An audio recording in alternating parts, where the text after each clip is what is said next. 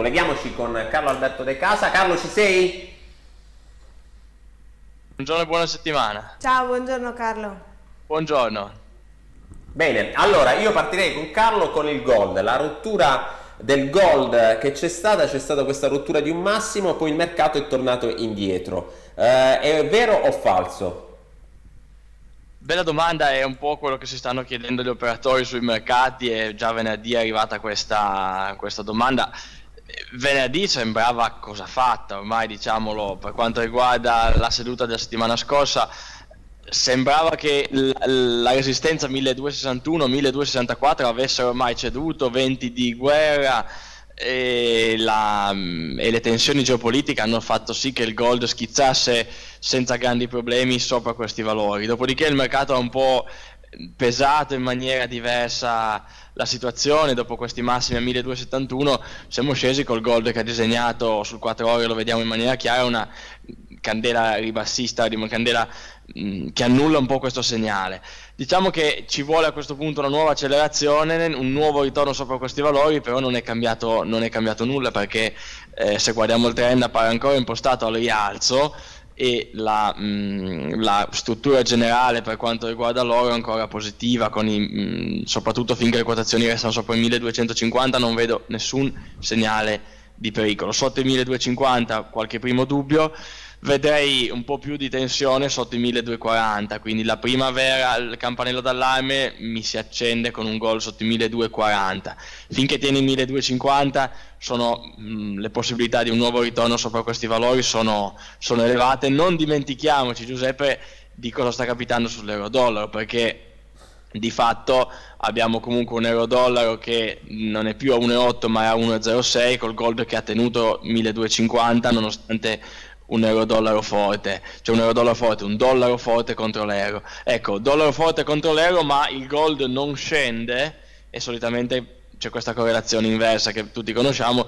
Di fatto questo mi fa capire che il gold sta aspettando la prima, la, la prima correzione del dollaro per provare a riaffacciarsi verso i 1260. Da un lato probabilistico direi che c'è un 70% di rivedere il gold nuovamente ai 1260 in tempi abbastanza rapidi come detto la prima discesa sotto i 1240, 1250 il primissimo camp- mh, mm, campanello d'allarme 1240 un po' di più e l'unica vera e propria inversione è sotto quota 1200 ma siamo ben lontani ben lungi dai 1200 Va bene, allora eh, Carlo volevo chiederti, quell'anomalia, quella rottura dei 1253 è stata anomala, è arrivata con eh, l'acuirsi della tensione, anzi l'acuirsi della tensione, con i missili che sono stati lanciati dagli Stati Uniti nei confronti della base eh, siriana. Oggi 1264 parli, 1264. Sì, sì. O- oggi poi un'altra, eh, diciamo così, nel, nel weekend eh, abbiamo sentito della notizia dell'avvicinarsi della portaerei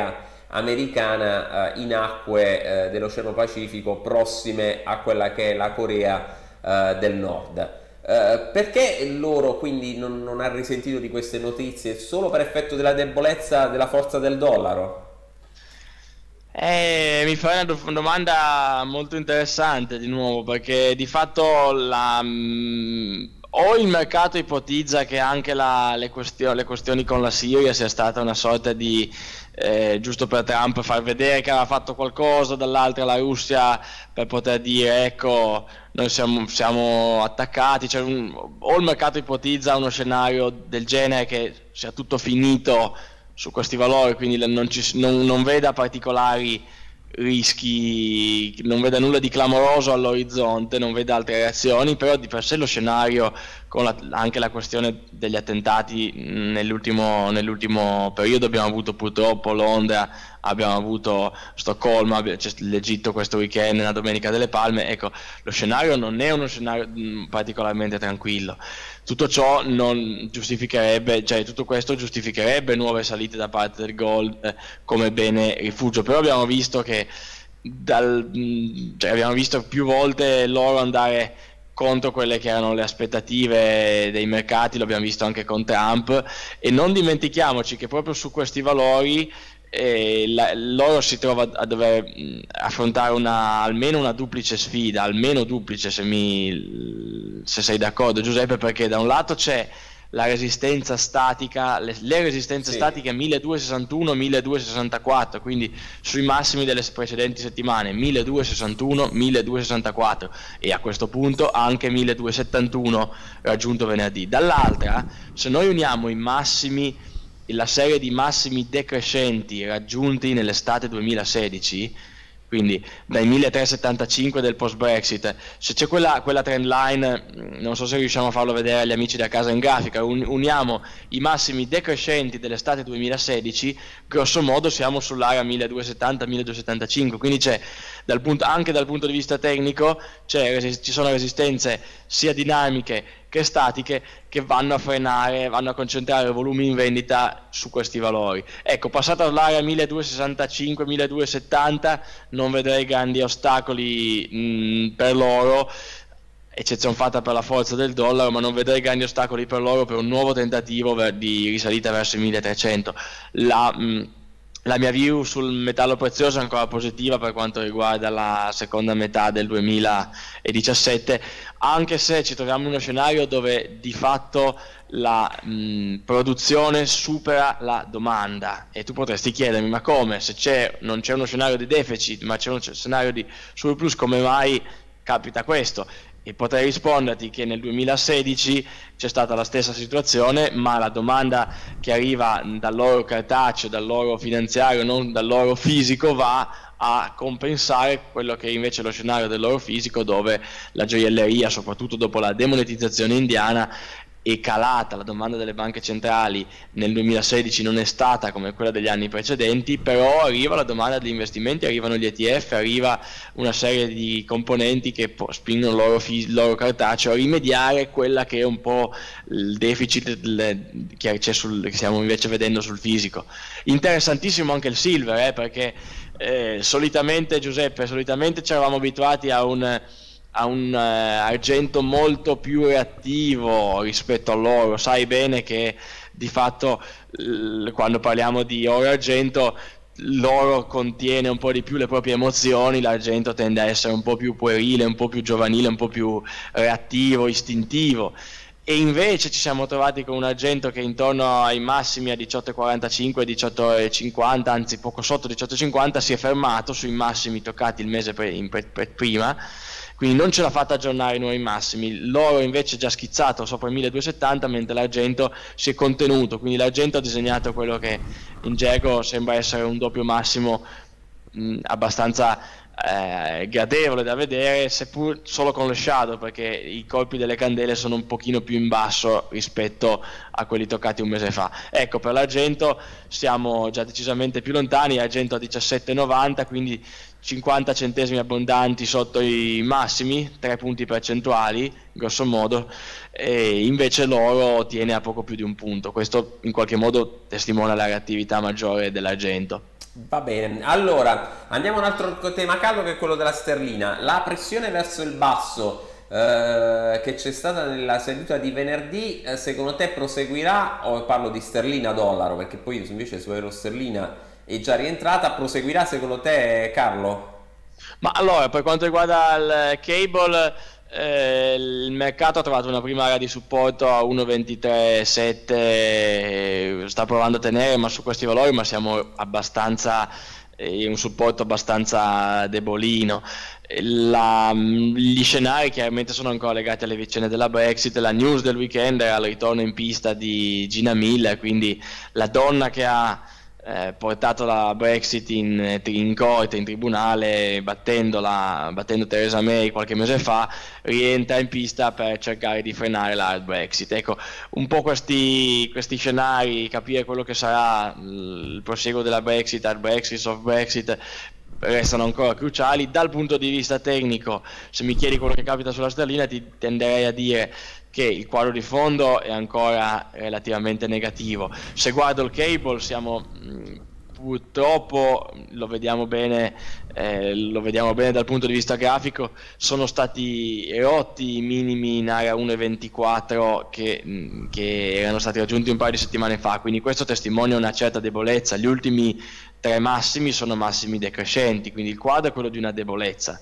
perché c'è un dollaro forte, perché la sterlina sta vivendo tutti gli scenari che conosciamo. Resta però valido quello che abbiamo visto da metà marzo in poi, con il mercato che ha interpretato il meeting del 15 di marzo della Federal Reserve come un meeting da colomba da parte di Janet Yellen, mentre invece ha apprezzato questo 8 a 1 eh, questo 8-1 della Bank of England come uno scenario mh, mm, in qualche modo non, non, da falco perché non possiamo parlare di falco della Bank of England, ci mancherebbe, ha ritagliato i tassi soltanto 8 mesi fa, però il mercato ha capito che la Bank of England verosimilmente non taglierà ulteriormente i tassi di interesse, ma la prossima mossa potrebbe essere al rialzo. Bene, allora Carlo, c'è questo, sono le elezioni francesi, lì secondo te è tutto scontato? Ma eh, guarda, ne parlavamo all'evento di Atitrades venerdì con Saverio Bellinzani e Giovanni Cuniverti che saluto e devo dirti che sei stato protagonista venerdì, non so se lo sai, a Torino non c'eri ma sei stato protagonista. perché abbiamo cercato, scusa questa, scusami se divago. No, mi fa piacere essere. No, no, sei stato, sei stato acclamato dalle folle eh, piemontesi perché abbiamo seguito il non fan payroll e cercando di fare una telecronaca alla Giuseppe Di Vittorio. Sai, c'è un po' il gol in zona Cesarini e c'è la telecronaca dei dati di borsa alla Giuseppe Di Vittorio. Abbiamo provato in tua assenza a a, renderti comunque protagonista. Ti farò vedere un video agli amici di Le Fonti TV e a Giuseppe Di Vittorio. Tornando al tema centrale della domanda, il mercato sta apprezzando, sta apprezzando come eh, abbastanza probabile una, mm, una, vittoria di Macron, quindi eh, posso anche darti le quote, mh, mm, le sì, quote in diretta. Vediamo le quote in diretta, perdona 30 secondi perché devo dirti che mea culpa non le avevo aperte, dall'Italia sono il pelo della diretta, ecco, è leggermente risalito, quindi leggero recupero di Marine Le Pen, perché Macron era pagato 4 settimi, vuol dire che ha pagato 1,60, adesso ha pagato 8 undicesimi, 8 undicesimi è un 1,70, 1,75, gli si dà ancora un buon 60% di possibilità di vittoria. Marine Le Pen scende da 4 a 3,5 grosso modo, e, ehm, però 4 3,5 vuol dire 3,5 come, come calcoliamo le probabilità così divaghiamo di nu- nuovamente. 3,5 vuol dire che ehm, dobbiamo andare a dividere 1 per 3,5, lo facciamo in diretta con voi con una calcolatrice, 1 diviso 3.5 otteniamo 0,28 togliamo quella che è la quota del bookmaker sarà un 26% siamo passati da un 23-24% della settimana scorsa a un 26 più o meno che sono le probabilità che le, quote, le case scommessa danno di vittoria per la ehm, Marine Le Pen. Calcoliamo velocemente anche quelle di Macron, 8 undicesimi, e 1 diviso 1.72 e otteniamo un 58, quindi gli danno poco meno del 60%. Ecco, questa è quella quotazione che gli viene data al mercato con Fiona sul 20% e Mélenchon eh, un decimo me, m- m- quasi rilevante 7-8% le possibilità che sia lui il vincitore. Ricordiamo anche le date 23 aprile e 7 maggio. Ecco nel caso di mh, io penso che chiaramente la, la sterlina guarda da, da, da, spettatrice interessata perché una ehm, si è parlato poco di questo ma in qualche modo il Regno Unito si è, si è, capito che al Regno Unito non dispiacerebbe, so, nuove, non dispiacerebbero nuove problematiche sul lato europeo. Perché? Perché renderebbe un'Europa meno compatta anche ne, nelle negoziazioni contro il Regno Unito. E quindi la sterlina è spettatrice interessata, chiaramente non è spettatrice, ma è, non è spettatore, ma è protagonista vero e proprio l'euro e questa discesa della settimana scorsa della valuta unica arriva in primis dalle parole di Mario Draghi che è andato a dire che i tassi rimarranno bassi eh, ancora a lungo, quindi ha rassicurato il mercato. Poi c'è stata la discesa dopo i dati sull'inflazione che hanno portato dal 56 al 24% la, le possibilità di un rialzo dei tassi a dicembre, ma anche il riavvicinarsi delle elezioni francesi, ormai manca davvero poco, questo in qualche modo eh, spaventa i mercati. Ma anche i dati, scusami Carlo, anche i dati sulla produzione industriale non sono stati buoni. Esattamente, esattamente, anche questo a complicare lo scenario, quindi un'Europa ancora in balia eh, dei dati elettorali e anche della, eh, degli scenari inflattivi.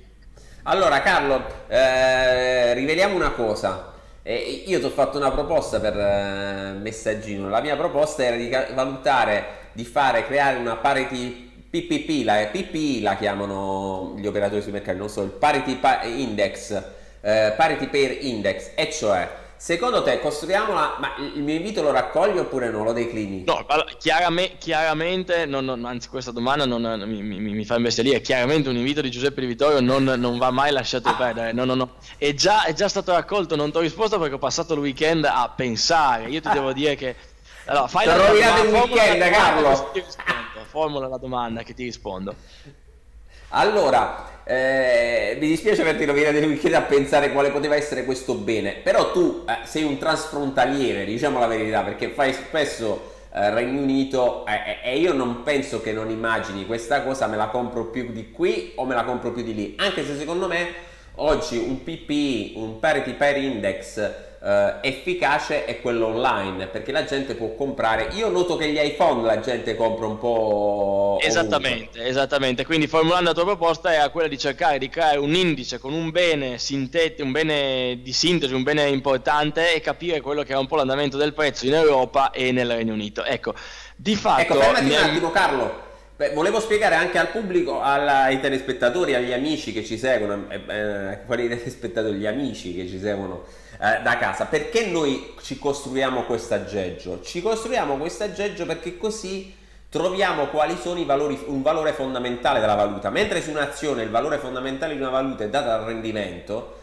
nel caso delle valute uno dei metodi di valutazione è proprio calcolare se una cosa costa di meno Uh, in un posto ovviamente tutti la vanno a comprare a quel posto, quindi comprano quella valuta e quindi il tasso di cambio tende a salire. Ecco perché ci costruiamo questo aggeggio, adesso ve l'ho buttata lì, poi magari saremo anche più precisi. L'iPhone, Carlo, può essere un bene di questo tipo? Vai.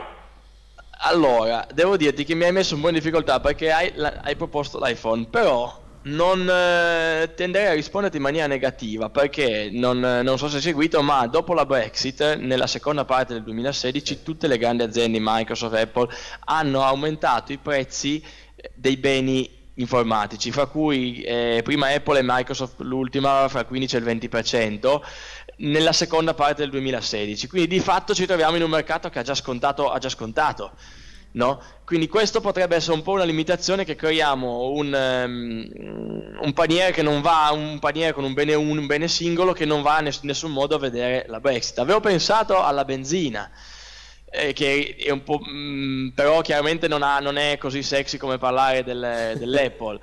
L'altra cosa che poteva essere interessante era riprendere quel vecchio paniere che avevamo costruito di una ventina di beni, fare una media dei loro prezzi, dare un valore 100, visto che io ho questi 20 beni al, nel mese di aprile dell'anno scorso, ho il prezzo di questi beni di un anno fa, fare un, ban- un paniere che vale 100 alla Brexit e vedere di mese in mese quanto varia. Questa è l'altra cosa che avevo pensato. Ecco, posso dirti che sono tornato ieri dall'Italia, visto che ero a Torino nel weekend per l'evento di Atti con la valigia piena di eh, beni alimentari, però chiaramente se andiamo sui beni alimentari l'Italia vince a mani basse in...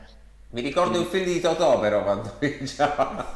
Quando eh, ma posso dirti che buona parte degli, degli italiani che fanno la spola fra l'Italia e il Regno Unito tornano con, eh, con le valigie piene di, di, alimentari, anche perché su alcuni cibi eh, può essere la pasta di marca o i biscotti o i biscotti da mulino bianco, non lo so, magari qua sono difficili da trovare e costano fra il doppio e il triplo. Ma posso dirti questo: ho visto, ho visto il prezzo del gelato, del gelato, in Italia che era fra le due volte, fra le due e le tre volte più basso di quello di, eh, di Londra. Allora diciamo la verità: che dal punto di vista fondamentale l'euro è sottovalutato. Tenderei a dirti di sì, anche perché l'euro deve, anche la sterlina deve uscire da questo quantitative easing, ma avrà una, le vicende Brexit che, come Theresa May ci ha messo in luce, non, non si chiudono nel giro di due anni e dall'altra l'euro invece con la situazione della Germania, con i buoni dati della Germania, sì c'è stata la frenata all'inflazione ma non rimaniamo troppo a lungo in questo quantitative easing e con i tassi così, non è una cosa che, può, che possiamo pensare debba durare altri 2, 3, 4 anni. I tassi non verranno alzati verosimilmente quest'anno, però se non è quest'anno si parla inizio dell'anno prossimo al, per il rialzo dei tassi o quantomeno per un'ulteriore riduzione del quantitative easing. Quindi un euro 1,05 sono in molti a credere che col dollaro possa in qualche modo, viste anche le politiche di protezionismo di Donald Trump, anne- con gli annessi e connessi, perché sai meglio di me che un protezionismo, il protezionismo di Trump con l'euro, con l'euro dollaro 0,90 non va da nessuna parte. Trump non vuole importare, ma vuole esportare, se l'euro dollaro va sotto la parità, questo non riesce a esportare e gli conviene importare. Quindi, sai, mo- è, un mondo, è, un mondo, strano, difficile. è un mondo con mille, mille domande, è un mondo difficile, sì. ecco Carlo, però qualcosa di storico sta avvenendo da questo punto di vista, perché noi nella storia della finanza internazionale abbiamo visto sempre una Bank of England, una BOE al traino della Federal Reserve, sia nelle fasi di ascesa dei tassi di interesse che nelle fasi di discesa dei tassi di interesse. Quindi questa Brexit è qualcosa di epocale, è qualcosa di straordinario, perché eh, la, la, banca centrale americana è, è, ormai è già al quarto, quinto rialzo, al quarto rialzo è 0,75 l'1%, quindi al quarto rialzo dei tassi, o terzo se si considera la forchetta 0,25, e invece Bank of England è rimasta lì, anche se partiva da un livello più alto. Sì, eh, questa Brexit probabilmente non rappresenta un piccolo passo per l'uomo, non rappresenta un grande passo per l'umanità, questo lo lasceremo giudicare alla storia, però sicuramente rappresenta un pezzettino di storia, questo è fuori discussione, che sia in qualche modo un evento storico, ma io sono, guarda, la maggioranza degli analisti si aspetta un rialzo della Bank of England nel 2017, nel 2018, scusami, quindi attende fra un annetto scarso il primo rialzo da, dei tassi di interesse da parte della Bank of England. Io sono fermamente convinto del fatto che la, la Bank of England sarebbe già pronta e vogliosa di farlo nuovamente per poter tagliare se necessario, quindi non ne stupirei lo facessero già quest'anno per dare un segnale al mercato. L'unica, l'unica cosa che li blocca è il mercato immobiliare, perché nel momento in cui questi dovessero fare non un rialzo dei tassi, uno no, ma se già parlassimo di tre rialzi, tornare verso l'1%, sai, qui non c'è il, il, tasso, il tasso, fisso, il tasso è fisso a 2 o 5 anni, quindi chi ha il mutuo trentennale, eh, ogni rialzo a 0,25 lo sente, lo sente come, e quindi si trovano in un sistema dove la caratterizzazione del debito è elevata, anche per quanto riguarda l'immobiliare, le case hanno corso tanto, questo 60% che ha fatto Londra eh, potrebbe vanish, potrebbe eh, evaporare eh, in maniera abbastanza rapida, non tutto il 60%, ma una, una, buona metà. Quindi se i tassi restano bassi c'è la possibilità che case, i prezzi delle case calino in maniera anche più lenta, determinando meno scossoni per, per il Regno Unito. Questo è un po' lo scenario che vedo. Quindi la Bank of England che ha voglia di alzare, ma al momento è cauta soprattutto per l'aspetto immobiliare. Carlo, ci sono appuntamenti che vuoi segnalare di Active Trades? Beh, guarda, eh, chiuderei ringraziando Saverio, Giovanni Benelzani Giovanni Cuniberti che erano a Torino e dove abbiamo fatto il pianone. Ringrazi- darei l'appuntamento a Milano, quindi non ci spostiamo di tanto, solo un centinaio di chilometri più a est, l'11 maggio a Milano. E poi Rimini, Rimini con Active Trades come sempre in prima fila, ma attenzione perché potrebbe esserci una sorpresa proprio insieme con, eh, con le fonti per seguire quella che, sarà la, mm, che saranno le elezioni francesi. L'annunciamo la settimana prossima? Va bene, va bene, va bene. Ci saranno un annuncio in diretta TV, benissimo. E allora, se, elezioni francesi, assolutamente massima attenzione. E, va bene, Carlo. Grazie, Ottimo. Carlo. Buon trading a tutti. Grazie a te. Buona giornata. Anche a voi.